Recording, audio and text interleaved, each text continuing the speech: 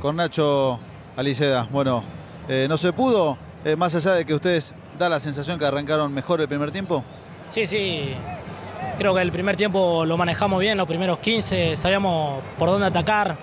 Creo que las paredes a ellos en defensiva eran muy lentos, entonces nosotros pudimos aprovechar un poco y después, bueno, nos decaímos en el segundo.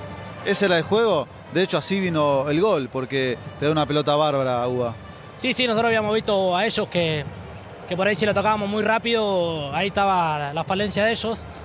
Y bueno, por suerte pudimos hacer el primer gol y bueno, después nos mantuvimos un poco bajo, pero bueno, contento. ¿Y crees que es justo el resultado o merecieron un poco más? Sí, creo que es justo, creo que los dos intentamos, ellos el segundo tuvieron la pelota, nosotros primero propusimos un poco y después, bueno, nos quedamos sin piernas, pero bueno, para mí es justo. ¿Y cómo ves la mano de Soso? ¿Se ve viendo? ¿Se ve eh, ya plasmada la mano del entrenador que en algún momento arrancó con algunas dudas en cuanto al resultado, pero evidentemente el funcionamiento lo van encontrando? Sí, sí, de a poquito el funcionamiento lo vamos encontrando.